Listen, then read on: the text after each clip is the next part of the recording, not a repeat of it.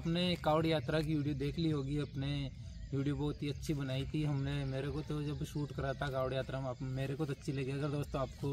ये वीडियो पूजे डीजे बरोड़ा की और ये कावड़ यात्रा की आपको अच्छी लगी थी इस वीडियो को लाइक करना और दोस्तों साथ में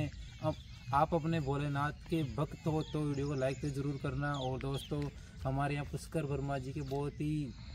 लोग कावड़ यात्रा निकालते हैं अभी सावन का महीना चल रहा है तो दोस्तों यार मेरे को लगता है आप जरूर भोलेनाथ के फैन हो गए तो दोस्तों यार अपने चैनल पर न्यूज चैनल को सब्सक्राइब करना और भोलेनाथ का फैन हो तो जरूर लाइक कर देना वीडियो पे तो दोस्तों यार मिलते हैं ऐसी मज़ेदार वीडियो के साथ तब तक के लिए जय हिंद जय भारत